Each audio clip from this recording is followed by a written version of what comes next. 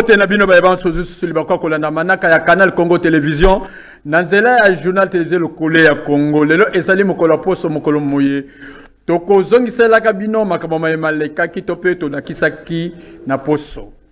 Na boye tofungola sango na biso ya Pokwa lelo na ngambo ya Assemblee nationale mpo na koyebisa bino ete bantoma ya sika bana mboka baye bauti kopona mobu moleki ya 2023 bazalaki mokolo malobi uta palais du peuple. Tolanda bolai bwa sango na lokole ya Fleury Mbenga. Nsima ya likita ya mbalakaka to session extraordinaire inaugurale eye bazalaki na yango na ebandela ya poso eye, bantoma ya sika ya bana ya Congo democratique baye babimaki na maponomi maye maselemaki mokolo mwa ntuku mibale sanza ya zomi na mibale mobu moleki bakutanaki lisusu mokolo mwa lelo au palais du peuple na salle ya congrès na mbela ya bureau provisoire eye mwana mboka christophe mboso kodiampwanga azali bongo kokamba Nsima ya kotala motango mwa bato, bakeli mibeko to mpe ba deputes nationaux motango nkama misato na tuku misato na banei bazalaki bongo o ntei ya salle ya Congrès. Yango epesaki nzela na Assemblee nationale te bakoka bongo kofanda o makita ma bango. Mpo ya mokolo mwa lelo, ordre du jour ezalaki se na likambo lyoko, validation des pouvoirs kolandisama na article 114 alineya 1.2 ya Constitution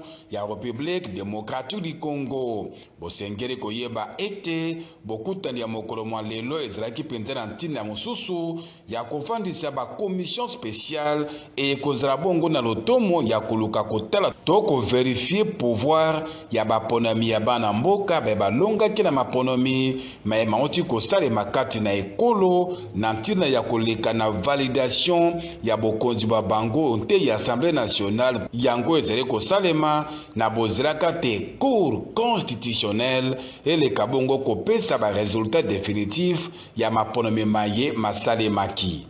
O libaku lyango, bosengeli koyeba te bantoma baye bazalaki o ntei ya bokutani ya mokolo mwa lelo. Ndakisa, moponami ya bana ya Walikale alekaki na kotalisa makanisi ma nzenga maye azali na mango, maye makoki kosala te bana ya Congo democratique, baleka kobika na biloko bye bizali kobima o mabele ma ekolo Congo democratique. Nzokande molakisi Andre Mbata na ntango ye azwaki maloba alekaki na kotalisa polele te misala mye mizali kosalema mizali kokambema na bureau provisoire eye mwana mboka Christophe Mboso Kodiampwanga Azalaki kokamba yango na bolamu bonso, nzokande bango bantoma bazali bongo kosala manso mpo ya kotombola makanisi ma nzenga maye tata mokonzi wa ekolo Felix Antoine Tshisekedi Tshilombo azali na yango. Bosimba mpe boyeba te bokutani ya mokolo ya lelo ebandaki mpe esukaki malamu mpenza uto Palais du peuple.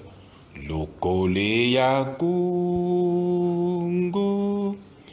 Ndakisa ya mbongwana. Totika bongo palais de, du peuple tokita bongo na ndako ya makita ya assemblée provinciale ya Kinshasa epai wapi bantoma ya sika oyo banengo ba mokonzi Kinshasa bautaki kopona Kaka na mobu moleki, na boye basanganaki mokolo malobi na ndako na bango ya makita uta komi na Gombe. Elekaki boni boni? Tolanda bolai bwa sango na Georges Libenge.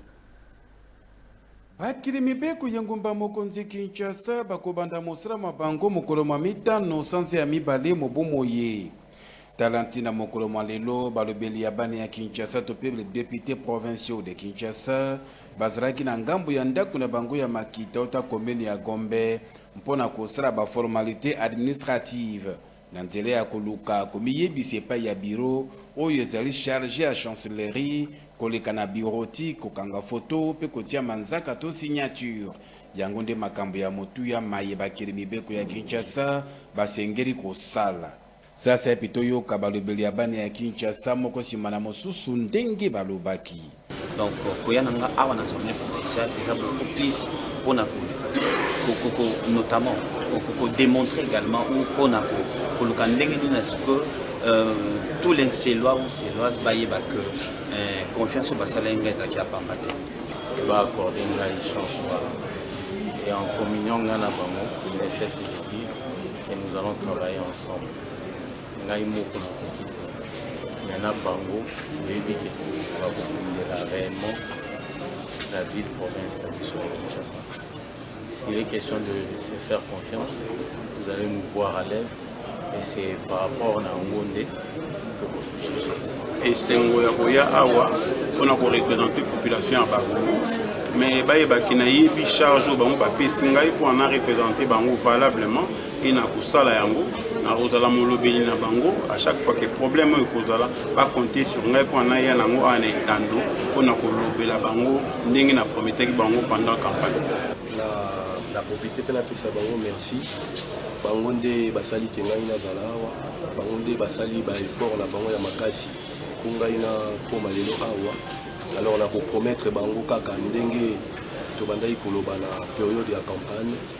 naza awa mpona na défendre bango naza awa mpona nalobela bango naza awa mpona na concrétise nyonso oyo naprometaki bango babanga te nazali awa nyonso ekoleka malamu tika toyebisa na bino te bureau d'age assemblée provinciale ya kinshasa ekofandisama kaka mokolo bakosala pleniere ya mbala ya liboso Mibu sambo to pe sept ans misilaki koleka uta kondo Etienne Tshisekedi wa Mulumba atikasi eye mpo na yango bapanzi sango lokola Congo tomeki komanyola na ntina na yango tolanda bolai bwa sango. Mibu sambo misili kokoka uta nkondo Etienne Tshisekedi wa Mulumba atikaki se eye. Mibu nsambo uta bana ya Congo democratique, bana ya Kinshasa mpe bana ya udps babungisaki leader charismatique Docteur Etienne Tshisekedi wa Mulumba. Tika toyebisa na bino te Etienne Tshisekedi wa Mulumba atikaki nse eye o ekolo Beljika o mokolo mwa yambo sanza ya mibale mobu mwa nkoto mibale na zomi na sambo epai wapi akendeki na ekolo ena mpo na kosalisa nzoto. Bolingo ya bana mboka ezalaki makasi epai na ye, tala ntina bakomaki kobenga ye Ya Tshitshi. Moto ya mpiko mpe molende, Docteur Etienne Tshisekedi Omolumba azalaki moto ya kimia, oyo alobaka pamba pamba te, nzokande koloba na ye ezalaki koningisa bato ebele kati na mboka.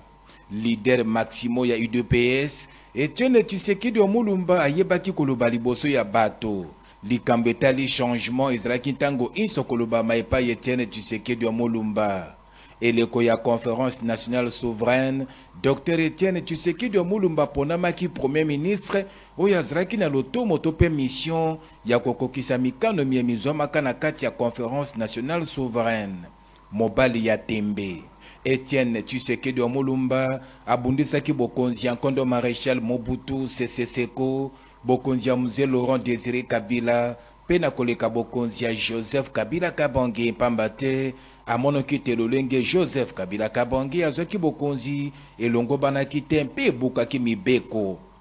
Moto ya bato ebele. Mitingi ya Etienne Tshisekedi wa Mulumba ezalaki esika ya malamu oyo azalaki kosolola elongo na bana mboka.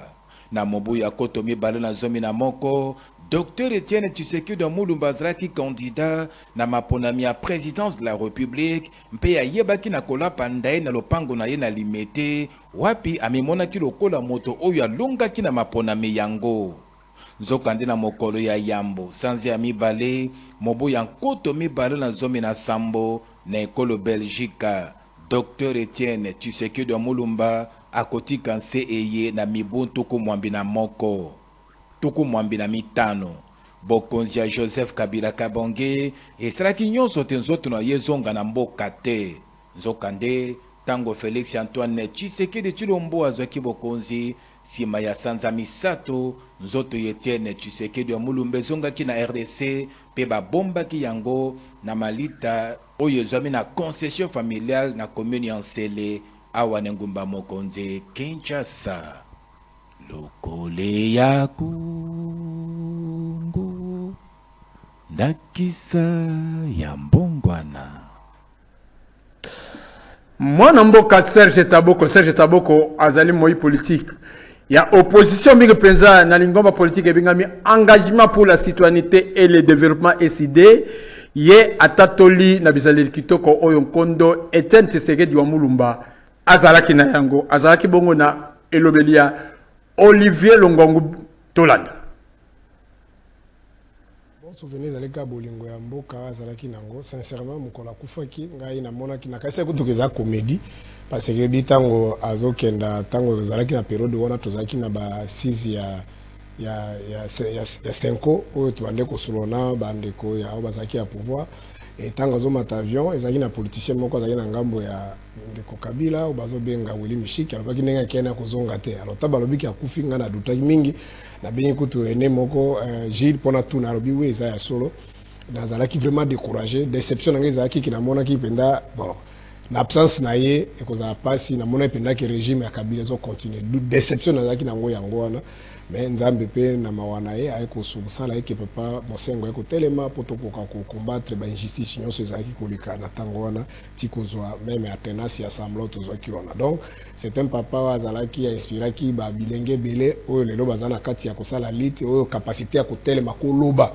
face na dictature euh, kobanga te prison te kobanga liwa te donc lui il est quand même euh, il est le symbole ya résistance donc c'est ce que je retiens à lui malgré aza moto azanga mpe bafaiblesse na ye te je comprends aussi nde kosala opposition na bapays sous développé esika pauvreté eza makasi na ba ndeko bazali ko accompagner ezali facile te c'est pourquoi moment donné abandaki pe kozonga travail na Mobutu azongi sili mais néanmoins d'emblée euh, en un mot c'est quelqu'un qui a inspiré euh, aux générations euh, aux différentes générations futures mais bakoyaka lobi sens ya bolingo ya mboka pe ya patriotisme ya surtout ko résister contre na ba injustice to pe na dictature ko malonga ekobima te parce que ba élection elekaki malamu te ezalaki ba nomination esalemi bato bazali wana projet bango baza nango Kanga emission ya lelo ezali kaka ya ko changer constitution po ndeko Felix awumela pouvoir. Bana eloko mosusu baza na ba ils n'ont pas des atouts pona ko travailler eh, pona intérêt ya Congo. Non, je ne vois même pas. Na basango mosusu bosengeli koyeba ete bakonzi ya engumba mokonzi Kinshasa mingi mpenza ya bapulusu balakisaki omiso ya bato banso bakuluna baye bazali kozangisa bana engumba mokonzi Kinshasa kimya. Tolanda bole basango. Likambo ya moninga asali ngai mpe nasala ebuka baike makolo. Tika toyebisa na bino te mokolo malobi moleki na ngambo ya inspection provinciale ya Kinshasa balekaki bongo na kolakisa bakulu na baye bazali koyokisa bana mboka mpasi mikolo miye na engumba mokonzi Kinshasa. Bapulusi ya ngumba mokonzi ya Kinshasa balekaki na kosala mosala kitoko mpenza ya kokanga bango mpe lobi loleki ezalaki bongo mokolo moye bakonzi ya bapulusi ya Kinshasa balakisaki bango liboso ya bana mboka na bisaleli ya mabe oyo batambolaka na yango mpo na kosala bato mabe awa na Kinshasa Ndenge bozali komono, bana mibali oyo bazali lokola badongolo miso. Mosala na bango ezalaka ya kokanga bato na butu, kozokisa, kobotro, koboma mpe kosala makambo ya mabe epai ya bana mboka. Mpo na yango, tokanisi te bapulusi ekolo Congo demokratiki bakolemba te mpo na likambo etali bakuluna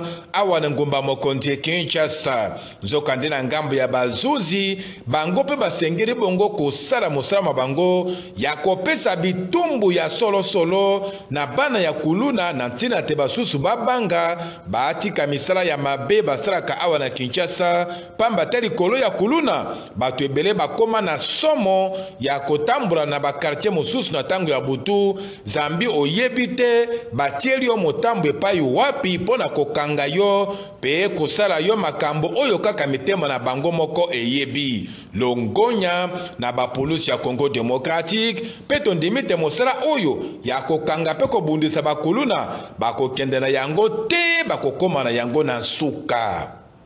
Lokole ya Congo ndakisa ya mbongwana.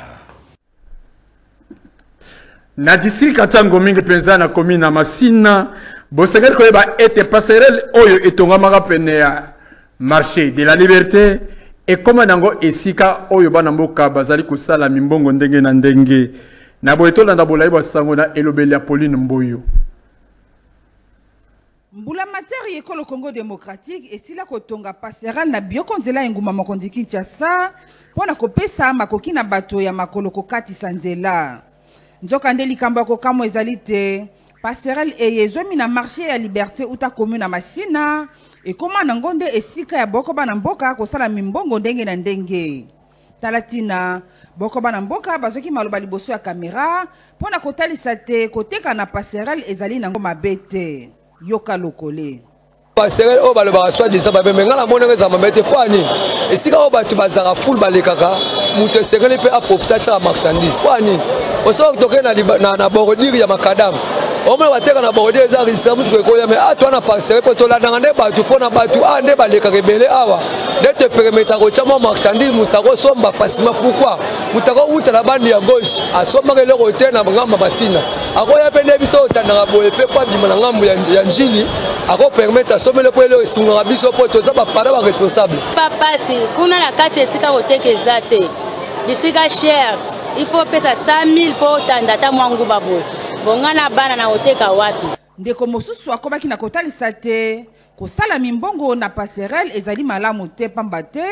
ezali komema bosoto. Yoka ndenge abakisaki. Normalement eza ouvrage d'art eh, na kati ya ville c'est normal mpo e permettre bato baleka, mais ndenge basalaka yango ezalaki mwa bien na ndenge mpe baye kodekore yango lisusu ekomi bien, c'est propre. mais ntango omata okota kuna tala bato ndenge bazoteka bino bazobebisa salite ezotikala alors neti ba, ba biloko oyo batapi oyo batia donc nyonso oyo ezalaki couvert deja na tapi bamosusu bakoma koyiba tapi bakokende na bango na bandako na bango etikala baplace mosusu etikali nu bon bapolicier ba bakoya oh, pardon oyo oh, bino botindi baya kotia ordre awa Ils sont en complicité avec tous ces gens qui vendent. Tous les jours, ba pesa bango ba 5000, ba 2000, ba tiki bango. Lokole ya Congo, ndakisa ya mbongwana. Totikala kaka na ngambo ya district ya Tshango ya mbala oyo mingi penza na commune ya Nsele na quartier Badara bavandi ya quartier ena bazali kolela pamba te mabele ya ezali kobukana na makasi bonso bazali kolela pamba te Bandako na bango ekoki kokwea to ekoki kobunga na ntina ya erosion oyo ezali kosalema. Tolanda bole ba sango na elobeli ya Leticia Bilepo mpe Heritier Tobiland. Kamera ya journal televise lokole ya Congo ekitaki na komina Nsele, mingi mpenza na quartier Badara 2. wapi epai bakendaki kosolola na bana mboka ya ngambo ena na ntina ya libenga oyo ezali koyokisa bango mpasi mpe ezali kopesa bango kokoso kobima bisika biye bakosalaka mosala to mpe mombongo na bango. Na yango toyoka boko nsima mosusu ndenge babetaki lokole na lolenge loye. En plus nzela eza te, nzela eza te, bosunga biso, tala erezo bino mo bozomona Papa lakisa bango nde rezo esali do tala bato baza na ngambo moya bakatisa eza te me toza bato ya place moko me tokomi bato na bato na ngambo do insécurité plus nzela eza te tosengi na bakonzi ya leta bosunga biso na makambo wana surtout na bana bazala plus ou moins 10 ans yango epe elekeli nga komona degre ya erosion oyo esalemi oyo oyo esala nga mpasi nazali moto navandi mingi na centre ville yo nakobenga camarade na nga ye po atala badara po badara ezali tere moko non esplati po akoma ela komona libulu ekomi kobangisa ye mwa moke meme nga moko naza na ndako na ngai ya bien na badara ekomi kobangisa ngai nakobenga moto na motuka nzela nini nzela eza te nde tosengi mpe na bino bino balobeli na biso bokomisa makambo oyo kotango makambo yango ezalaka akili edwa po ngai mpe naza na limite ya makambo na ngai komi kuna yebisa bango ke tozalaki na badara tomoni kuna insécurité ezali makasi baza na posa mpe bavivre bazala na kimia ozala mpe mwa mpe vekile meme yo ndenge oye boye omati mokamio tii na ndako na yo omeko kamio ezala te mpo nzela ezali malamu te o déclaration na ngai nde yango nafuni lokole ya kongo ndakisa ya mbongwana Mpo na kosukisa basango na biso ya pokwa lelo, tika tokundolela bino ete awa na kati ya engumba mokonzi Kinshasa, mokumbi na mokumbi aza na talo to mpe prix ya ye ya transport. Mpo na yango elobeli na biso emekaki kosolola na bana mboka, tolanda ndenge balobaki. Mikolo miye likambo etali transport ezali kosilisa bana mboka esengo. Tolobi boye pamba te bapanzi sango bakitaki na esika ebengami Pascal wapi epayi bakumbi mituka bazali komema bato na 3000 francs Pascal mpo Ngabi. Nzoka nde moko capitaine ya ba pulusu oyo na azalaki esika yango abetaki lokole mpo na kotalisa pasi eye bana mboka bazali komona mpe etumbu eye bakumbi mituka bana bakoki kozwa na likambo ya konyokola bana mboka. Yoka ndenge alobaki. Ba precisaka ba ndeko ezala peut-être mokolo te devine apesi ndekisa te ke bato bamatisa batike biso na pascal awa moto oyo nyonso auti zanga auti ngaba auti wapi sokomi na pasi alo lokomatisa tike tokokangaki tokoyebaye tokoyebaye mpo mboka oyo nyonso etambola na mibeko oyo mibeko eprevoir te yo soki olingi osala ngo tokokanga yo tokokanga tokosepela te te bamatisa tike lokola baza na gene baza na las fréquence na moko oyo bamibeko eza te tokokanga bango tokoleba bango o ngambo ya bana mboka baye bazalaki kozela transport na esika ebengami paska uta komini ya masina Babetaki lokole mpo na kotalisa mpasi eye bazali komona na koloba ete. Komatisa ba transport awa na Saint Therese okobeta mpe makolo me oyo osombi kabira na yo luka mpe luka mpe kolia baninga kosunga baninga ye transport awa ti Saint Therese 1500 1500 1000 fois te 500 1500 zango 300 mabelela 300 donc soki oyoki 300 wana 3000 soki olobi balobi 200 seke 2000 soki oyoki 150 seke 1500 ava ozwa ava okomata opesi ezalaka te mboka mboka na biso toza na pascal aro yo moni awa tosufri transport bande ekoma 3000 debris bonane ti lelo sani matete kaka 1500 rompa 1500 bongolo te toyebi te so tosuka wapi to bato bakoma longo atite bono makolo pake kozala transport depo ya 1500 na batransport ezotelema ebele toyebi te toyebi te so toke wapi na moko